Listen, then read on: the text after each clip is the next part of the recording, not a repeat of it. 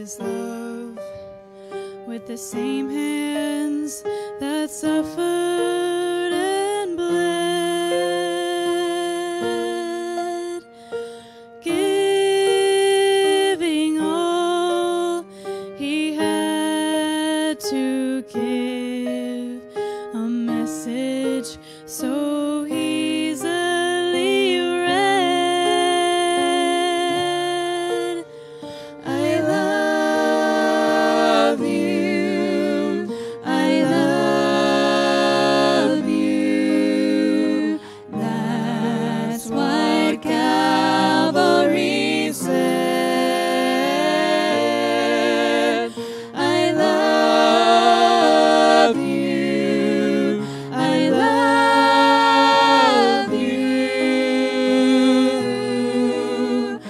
my.